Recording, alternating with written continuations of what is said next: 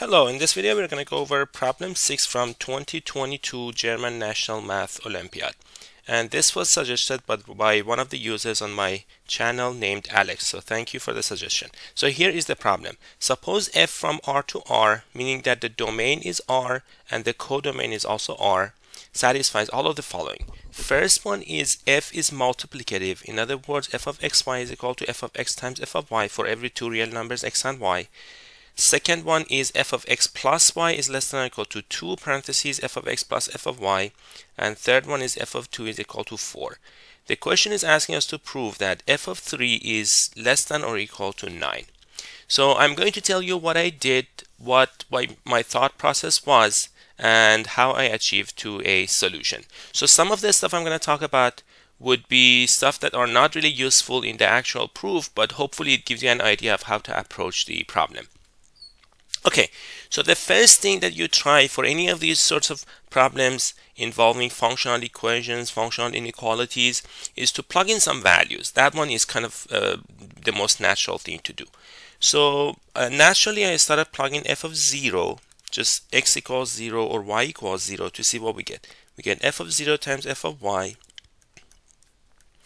And that tells us that f of 0 is 0 or f of y is equal to 1. That cannot happen because f of 2 is in fact 4. So that can't happen. Okay, so the conclusion is f of 0 is 0. Now I tried the 1. So f of x equals f of x times f of 1. For the same reason f of x can't be 1, can't be identically 1. So that means f of 1 is equal to 1. And I also know f of 2 equals 4, but apparently we cannot actually find f of 3. So the next thing that I did was I tried to evaluate some other values of f. So it's pretty easy to see that if you do f of 2 times 2 by the assumption that's f of 2 times f of 2 which is 4 squared. And then if we do it again f of 2 cubed that would be f of 4 times f of 2. Both of those are squared. That's 4 squared. That's 2 squared. So that's also 8 squared.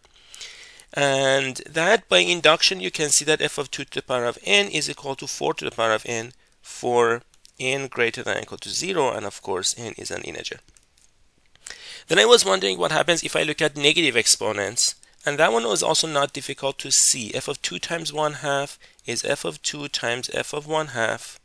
And uh, since we know f of 1 is 1, that would give us f of 1 half equals 1 quarter because this is 4.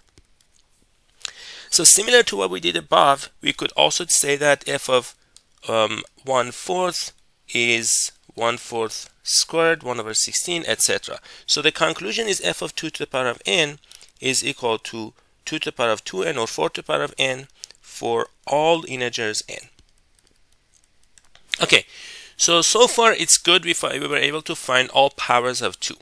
Next thing that I did was I tried to see if I can find something about f of 3. So f of 3 is f of 2 plus 1. So that's like this, the most natural thing to try. And by the second condition, this is less than or equal to 2 f of 2 plus f of 1. Now we know f of 2 is 4 and f of 1 is 1. So that gives us unfortunately something less than, uh, something more than 9. So we were able to show that f of 3 is less than or equal to 10, but it's actually not very helpful because we are trying to show that it's less than or equal to 9. Next thing that I did was I tried uh, to evaluate to look at things of this sort, like f of 3 plus 3. That's less than or equal to 2, f of 3 plus f of 3, and this wasn't very helpful either, um, because that just gives me 4f of 3, and on this side I actually know this is f of 6, which is f of 2 times f of 3, so this is just 4f of 3. so this is actually not helpful at all. Um, then I tried other things like 1 half plus, um, so if you write down 3 as 1 half uh, plus 5 halves or 3 halves plus 3 halves, none of these really gave me much uh, better than what I had. So then I decided that perhaps I'm not using all of the assumptions um, uh, all of the assumptions to the full extent. So what I decided was to see what happens if f of 3 is more than 9. So what if f of 3 is say 10? what goes wrong let's see what goes wrong and hopefully we can use that idea to get to a uh, solution um, as I see here, if I tried f when I tried f of 3 plus 3, like if I add them, it doesn't look like it gives me a whole lot. So I decided that I should probably use the multiplicativity up there. So f of 9. f of 9 is 100 because it's f of 3 times f of 3. Um, on the other hand, I can write down f of 9 based on things that I know. I know f of 8 and f of 1. If you use the second inequality, that gives me f of 8 plus f of 1. I know f of 8, that's 64. I know f of 1, that's 1. So that's 2 times 65, which is 130. So that tells me that f of 9 is less than or equal to 130, which is clearly not very helpful. But I thought perhaps I'm actually in the right track because here on this side, I'm looking at powers of 3 with the caveat that um, I'm sorry on the right I have powers of like 4 uh, because I will have 8 squared which would be a power of 4 with the caveat that I'm also including like a 2 in front. On the left I have powers of 3 so maybe when I increase the exponents um, I can kind of get a contradiction here so then I decided maybe I should try f of 27 I can write down f of 27 as 16 f of 16 plus 11, which is less than or equal to 2 times f of 16 plus f of 11. Now let's substitute f of 16 and also f of 12. So f of 16 is 16 squared. F of 11 is less than or equal to 2 times f of 8 plus f of 3. And this is what I get. So this is 2 times 16 squared, which is 2 to the power of 8. So 256 2 times um, 8 squared 64 plus um, f of 3 I guess okay so let's evaluate this and also substitute f of 3 by what we know so this would be uh, 512 plus 4 times 64 plus 2 times f of 2 plus 1 so this would be 512 plus, so this is going to be uh, 256 again, plus 8 times 3. Okay, so that's nice. Uh, no, I'm sorry, this is 5, because this is 4 plus 1, which is 5. Okay, so this is uh, seems to be getting us something better because this is actually not too large. So this is 700, uh, 808. So what I got is f of 3 cubed is less than or equal to 808, which means f of 3 is less than or equal to cube root of 808, which is obviously not true because this side is actually a thousand. 10 cubed is a thousand and that gives me a contradiction so that's the that's a contradiction that I was hoping to get. Okay, so this was very promising. So what was the next thing that I did? I was trying to uh, to hopefully turn that into a rigorous proof. Um, but for that, I would have to just prove this is true for um, every f of 3 that is more than more than 9. So if you look at uh, what happened here on the right side, um, when I looked at say, f of like say 27, I wrote it down as powers of 2. So I did 2 to the power of m, n plus 2 to the power of m, etc. And I wrote it down as less than or equal to 2 times 2 to the power of 2n, f of this is 2 to the power of 2n, plus f of the rest, 2 to the power of m, plus etc. So I was hoping to get some inequality. And then I can use maybe that to get to a contradiction. So this one is clearly just 4 to the power of n. So this is basically like kind of like scoring this one. Not quite though. So I decided maybe I have to have some inequality like that. f of x less than or equal to some c times x squared. Then I tried different values of c and I realized that if I try c equals 4 it becomes almost valid. So is it true that f of x is less than or equal to 4x squared? because if you look at this inequality that I have here there's a 2 here but there's also some change left over here so this 2 is probably gonna have to be increased and if you try 3 you'll see that there's gonna be some issues with 3 so I tried 4.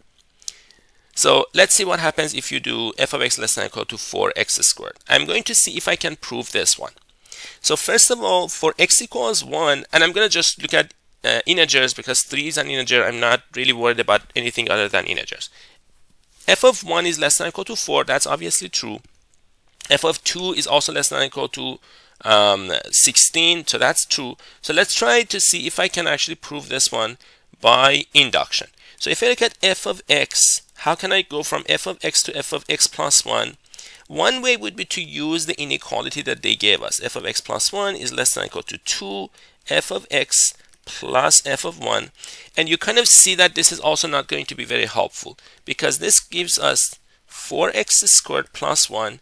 This is a quadratic roughly 8x squared, but on this side we need roughly 4x squared.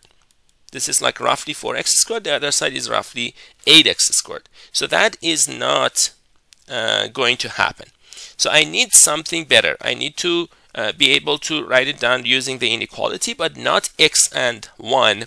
I need to have some balance between the two because x and 1 are far from each other. That gave us something not very good. So then I thought maybe I will have to take cases of even and odd and use the inequality to uh, break it down into two different portions. First of all, if x is even, if you have 2x, then this would be f of 2 times f of x, which is 4 times f of x less than or equal to 4 times 4x squared, and this is uh, 2x squared uh, times 4. Okay, so we do have the inequality. We can go from x to 2x. Then I tried 2x plus 1 this would be less than or equal to 2 times f of x plus f of x plus 1 which is less than or equal to 2 times this one is less than or equal to 4x squared and the other one is less than or equal to 4x plus 1 squared this would give me 2 times 4x squared plus 4x squared plus 2x plus 1 which is 2 times let's evaluate this this would give us 8x squared plus 8x plus 4. Now, I was hoping to show, the goal was to show this is less than or equal to 4 times 2x plus 1 squared. So if I factor another 2, I would get 4x squared plus 4x plus 2, which unfortunately it is 4 times 2x plus 1 plus 4. So that is not very helpful. So I have this uh, 4 that is bugging me and it's not going to uh, give us the inductive uh, step. So next I thought, okay, so this shouldn't be that much of a uh, problem. I just have to, um, I just have to adjust the inequalities. So here is now basically what ends the solution. So f of 2x plus 1, and so I'm going to claim that f of x, I mean, there's a little bit left after that, but that's like the key part. Claim is f of x is less than or equal to 4x squared minus 2. If you try minus 1, you'll see similar uh, issues are going to happen. So we're going to claim this and we're going to uh, prove uh, this for induction for all x that are positive integers. First of all, x equals 1 clearly gives you the inequality. x equals 1 and 2 are easy to check. And after that, what we can do is we can try f of uh, 2x. F of 2x is 4f of x which is less than or equal to 16x squared minus 8 which is less than um, 4 times 2x squared minus 2 okay so that's the first thing. Next we'll look at f of 2x plus 1 that's less than or equal to 2 times f of x plus f of x plus 1 and that is less than or equal to 2 times 4x squared minus 2 and then 4 x plus 1 squared minus 2. This would be, if I factor a 2, I will get 4 times uh, 2x squared minus 2. I'm combining the two 2's. And then plus 2 times uh, x squared plus 2x plus 1. So this gives me 4 times, I get 4x squared, the 2, uh, 2x squared add up to 4x squared plus 4x and then I actually don't have any constant. So this gives me 4 times 2x plus 1 squared because that's what I'm trying to get to. And then minus 1, which is less than 4 times 2x plus 1 squared minus 2. So that's nice. So we prove the inequality by induction. So therefore, what we have is this. f of x is less than or equal to 4x squared minus 2 for all x in positive integers. Now we don't actually need the negative 2 so in some weird way sometimes when you're trying to prove things by induction it is easier to prove something that is stronger rather than something that is weaker. As you saw the weaker inequality of less than or equal to 4x squared was more difficult to prove um, than the, the stronger inequality of f of x less than or equal to 4x squared minus 2.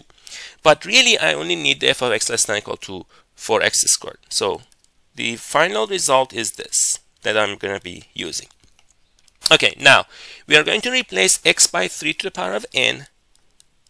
So this would be less than or equal to 4, 3 to the power of uh, 2n. Now we're going to use the multiplicativity. So this would be f of 3 to the power of n is less than or equal to 4, 3 to the power of 2n. Take the nth root of both sides, you get f of 3 less than or equal to nth root of 4 times 9. Now, as n approaches infinity, we get f of 3 is less than or equal to, this is 4 to the 1 over 9. Since this is true for every positive integer n, um, and this is n is a positive integer. Since this is true for every positive integer n, when you let n to go to infinity, this approaches 0. 4 to the power of 0 is 1, and this would become less than or equal to 9, exactly what we wanted. Now, if you are not familiar with the idea of limit, here is how you can actually finish it up without using any limits with just pre-calculus. So suppose f of 3 is more than 9. So what do we have here? What we have here is f of 3 we're going to get a contradiction. So what we have here is this. f of 3 over 9 is less than or equal to 4 nth root of 4. So f of 3 is more than 9. What I'm going to do is I'm going to raise both sides to the power of n. So f of 3 over 9 to the power of n is less than or equal to 4. That would be problematic. Why? Because you can write this one down as 1 plus f of 3 over 9 minus 1 to the power of n less than or equal to 4. Now I'm going to use binomial expansion on the left. This would give me 1 plus n, choose 1 which is just n, f of 3 over 9 minus 1 plus change less than or equal to 4. Now notice that this is positive. So everything here is going to be positive. So what does it mean? It means n times, if you drop every other term, you get n times f of 3 over 9 minus 1 is less than or equal to 4, which would mean n is less than or equal to 4 uh, divided by f of 3 over 9 minus 1. And that is obviously a contradiction because you cannot have um, a number that is larger than all positive integers. So therefore, f of 3 is less than or equal to 9. And that brings me to the end of the solution. Now, I haven't really put a lot of thought into this, but I wonder if there are any functions other than f of x equals x squared satisfying these three conditions. So if you if you find another function satisfying these three conditions, I would be curious to see what that function would look like. And I will see you in the next video.